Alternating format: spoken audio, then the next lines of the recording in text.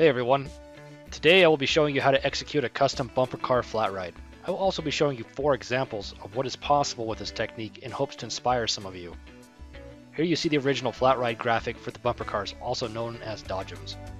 It isn't bad, but it's really basic. With a bit of creativity, you can really spruce it up.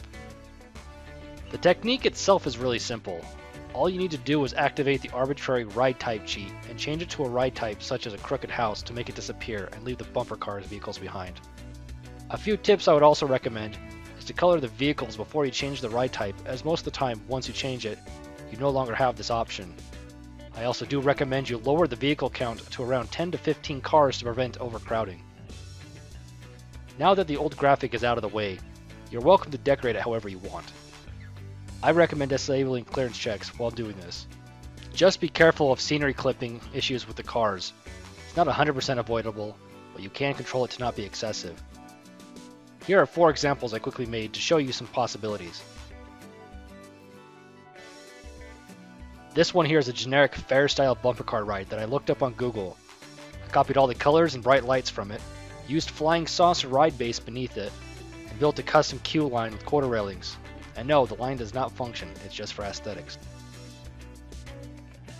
This next one is an idea I got from Ferrari for the one's defunct entry last season.